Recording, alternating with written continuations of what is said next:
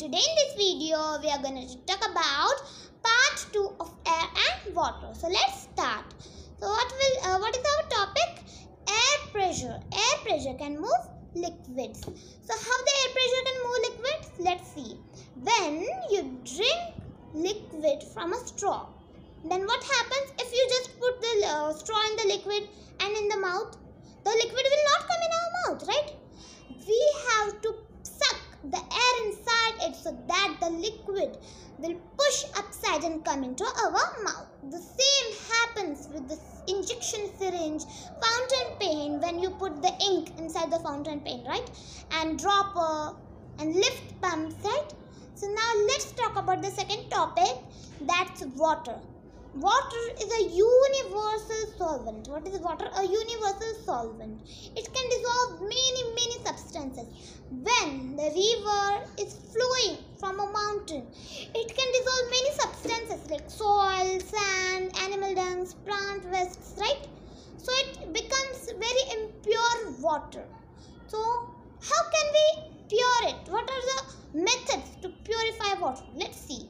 So first method to purify water is sedimentation. Sedimentation and decantation. So firstly let's talk about sedimentation.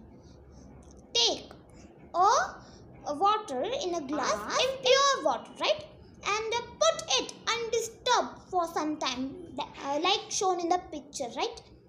Put it undisturbed for some time, and after, and this process is called sedimentation and when it is settled down take the fla- uh, the glass and put the pure uh, means above water inside of the glass this process of pouring the clean water in other glass jar. It's called decantation. What now let's talk about the second. It is called filtration. To do it let's see as shown in the picture. Take a filter paper, fold it into half circle and then in the quarter circle and put the three folds at one side and the fourth fold at other side. And then keep the filter paper in a funnel and put the funnel in other glass. So take the impure water and put it in the funnel. What will happen? The pure water will come inside the glass and all the impurities will settle down in the filter paper. So now let's talk about the third which is called distillation. What it is called? Distillation. Take some water in a glass jar and dissolve some salt in it. What you have to dissolve? Some salt in it. And then what you have to do? Put that water into the retort and heat the retort and put some cold water upon it.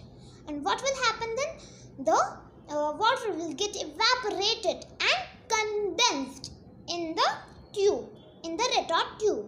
And what will happen? The clean and the purest form of water will get inside the other flask and the salt is left behind. But you will get the purest form of water. And uh, this is used in medicines. In what it is used? uh, distilled water is used in medicine. So now let's talk about the boiling. What? Boiling. So if you boil water for uh, 10 to 15 minutes, what will happen? The uh, germs inside the water will get all killed. All the germs will kill and it is fit for drinking now. You can use it for drinking. Yes and filter this water it is fit, fit for drink. Certain chemicals like chlorine are used to purify water.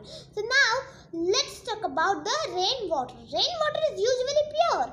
First two three showers of, of the rain may be not pure because the uh, air is filled with dust and first two three shower will mix with dust and uh, it will be impure water right after two three showers of the rain other water is usually pure right so you have to keep one thing in mind. Very pure water, right? Distilled water is not at all good for health because it loses all its minerals which are, which are useful for us, right?